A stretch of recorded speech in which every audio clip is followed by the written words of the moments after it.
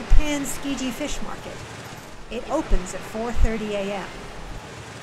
It's the largest seafood wholesaler in the world. It supplies Japan with one third of its fish.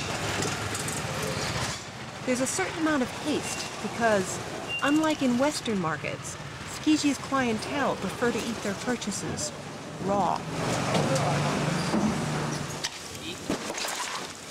But I think the most intriguing part about the market is the tuna auction. They arrive from as far away as Boston, and fresh or frozen, are on the floor by 5 a.m. The buyers then have 15 minutes to examine the merchandise.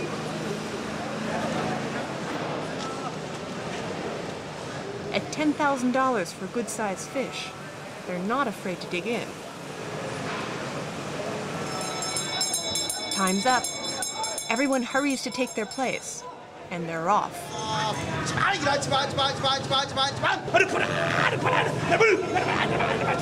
Their sales pitch strikes me as distinctly un-Japanese.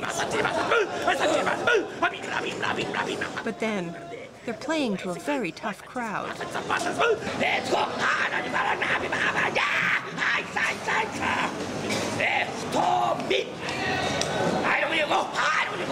Would you believe it's almost freezing out?